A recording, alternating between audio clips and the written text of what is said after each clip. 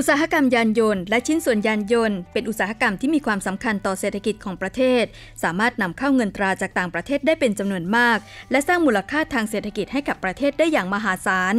อุตสาหกรรมนี้ยังมีความเกี่ยวข้องกับอุตสาหกรรมอีกหลายประเภท ตั้งแต่ต้นน้ำกลางน้ำและปลายน้ำ โดยอุตสาหกรรมต้นน้ำได้แก่การวิจัย และพัฒนารถยนต์และชิ้นส่วน การออกแบบและผลิตผลิตภัณฑ์ และการผลิตชิ้นส่วนขั้นพื้นฐาน เกี่ยวโยงถึงอุตสาหกรรมพลาสติก เครื่องหนัง เหล็ก อุตสาหกรรมไฟฟ้าและอิเล็กทรอนิกส์ กลางน้ำได้แก่การผลิตชิ้นส่วนย่อย หรือระบบย่อย การผลิตชิ้นส่วนระบบหลัก เพื่อป้อนโรงงานประกอบรถยนต์ และการประกอบรถยนต์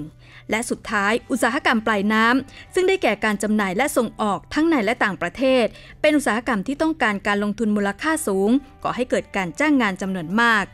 นี่จึงเป็นเหตุสำคัญที่ทำให้การรับปากไม่ย้ายฐานการผลิตของ CEO จากสี่ค่ายยักษ์ใหญ่ ผู้ผลิตรถยนต์จากญี่ปุ่น ทั้งโตโยต้าอีซูซุนิสสันและฮอนด้าที่ได้เข้าพบพลเอกประยุทธ์จันทร์โอชานายกรัฐมนตรี เมื่อวันที่ 7 มีนาคมที่ผ่านมา เป็นข่าวดีของประเทศไทยยิ่งนัก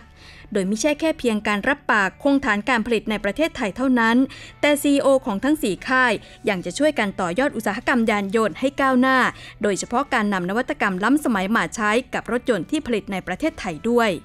เหตุนี้ทำให้นายกรัฐมนตรีพลเอกประยุทธ์ ขอบคุณผู้บริหารและบริษัทแม่ที่ญี่ปุ่น ที่ยังคงไว้วางใจประเทศไทย ในการเป็นฐานการผลิตและลงทุนรถยนต์ พร้อมกับขอให้เชื่อมั่นทีมเศรษฐกิจชุดปัจจุบัน และย้ำว่ารัฐบาลมีนโยบายสนับสนุนการค้าเสรีและเป็นธรรม ขณะเดียวกันยังจะสนับสนุนการลงทุนของต่างชาติในไทย โดยมีเป้าหมาย เพื่อยกระดับอุตสาหกรรมไทยขึ้นสู่สากล สำหรับบริษัทรถยนต์ที่เข้าพบนายกรัฐมนตรีทั้ง 4 ค่าย มีสัดส่วนการส่งออกประมาณร้อยละ 58 ของมูลค่าการส่งออกรถยนต์ของไทย ประเด็นสำคัญที่ค่ายรถยนต์หยิบยกมาหารือ คือแนวทางพัฒนาอุตสาหกรรมยานยนต์ไทยในอนาคต ปัญหาอุปสรรคในการประกอบธุรกิจ รวมถึงนโยบายการเจรจาการค้า และการพัฒนานวัตกรรม และบุคลากรที่เกี่ยวข้อง ล่าสุดนายกรัฐมนตรีได้มอบหมายให้กระทรวงอุตสาหกรรม เป็นหน่วยงานหลักในการกำหนดนโยบายรถแห่งอนาคต โดยเฉพาะรถไฮบริดและรถไฟฟ้า แต่ในขณะเดียวกันยังย้ำถึงนโยบายสนับสนุนรถอีโคคาร์ที่ยังคงเดินหน้า เพียงแต่ให้มองไกลถึงเทคโนโลยีใหม่ ๆ มาเป็นรถแห่งอนาคตด้วยเท่านั้น ประเด็นที่สำคัญที่บริษัทยกนะคะไม่ว่าจะเป็นในเรื่องของให้การช่วยเหลือในเรื่อง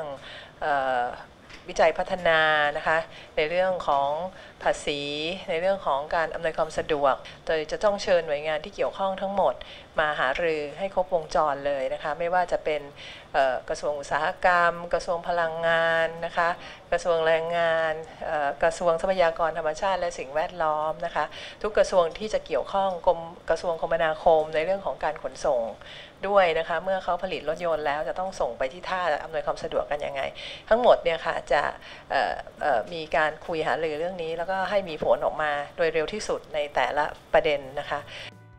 จากนี้ไปคงต้องติดตามความร่วมมือไทยญี่ปุ่น ในอุตสาหกรรมยานยนต์จากสี่ค่ายยักษ์ ว่าการต่อยอดพัฒนารถยนต์แห่งอนาคต จะทำให้คนไทย ได้ใช้รถยนต์นวัตกรรมใหม่ โดยเฉพาะรถยนต์ไฮบริดในราคาถูกลงได้หรือไม่